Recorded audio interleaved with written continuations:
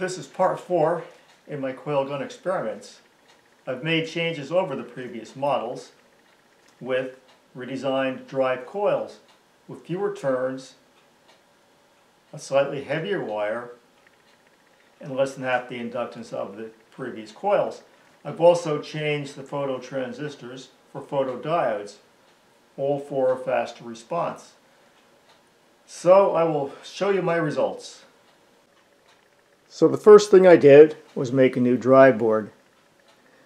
I'm using the LM311 comparator and the TC4422 driver chip on each stage. I'm using an Osram photodiode and they give a real nice output, real nice response. It's a major improvement over the photo transistors that I was using the infrared emitters are still the same. The coils that I use on this are about an eighth of an inch longer than the previous ones.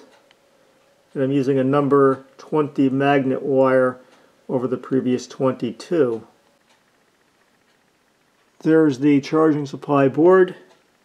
There's the isolation diodes, charging resistors for the IGBTs. There is a row of current limit resistors, and that is for the infrared emitter supply.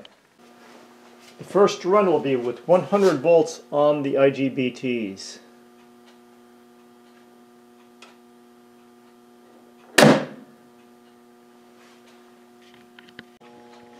One hundred and three feet per second. One hundred and forty volts. 107.5.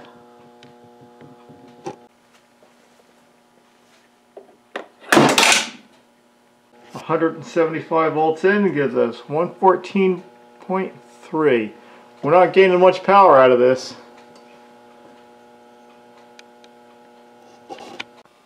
Two twenty volts in. Just about 120 feet per second.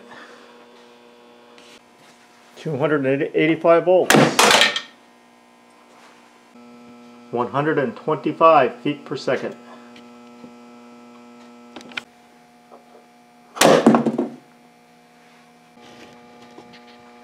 Three hundred volts on the IGBT stage gives us 127.4 feet per second.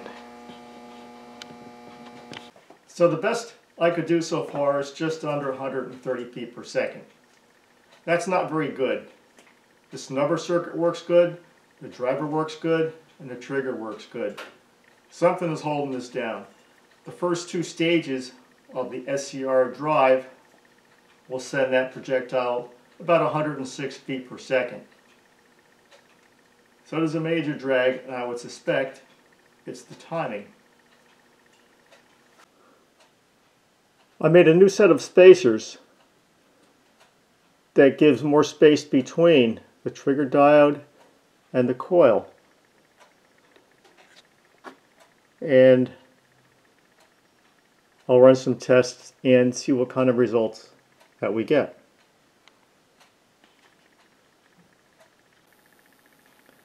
So with this new spaced coil setup at 100 volts on the IGBT stage, I blew out first IGBT stage and the ninth stage. It looks like this setup doesn't work very well. Best velocity was 109 feet per second. This will be a test run with the middle-sized trigger spacer.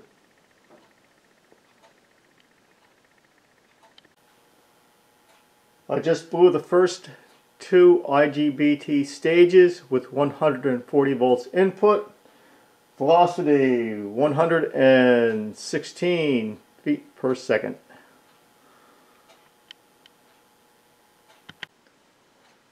So the conclusion from this series of experiments is that a slightly shorter coil, a little more inductance, and we do not need advanced trigger timing.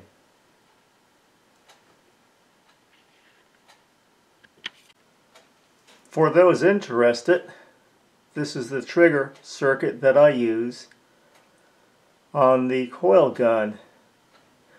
The Osram SHF 203 photodiodes work real nice. There is the LM311 comparator.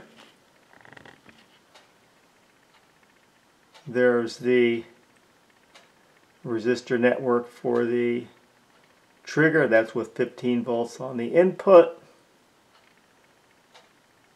The comparator uses 15 volts.